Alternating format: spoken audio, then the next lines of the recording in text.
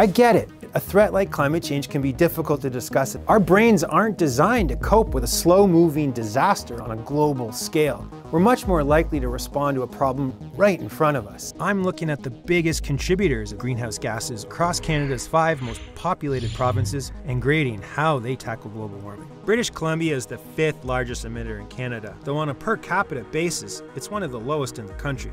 Transportation is the biggest contributor. So, how is British Columbia responding to global warming? BC was the first province to introduce a carbon tax in 2008, which was mostly successful. It's tackling transportation emissions with incentives for electric vehicles, up to $4,000 rebates.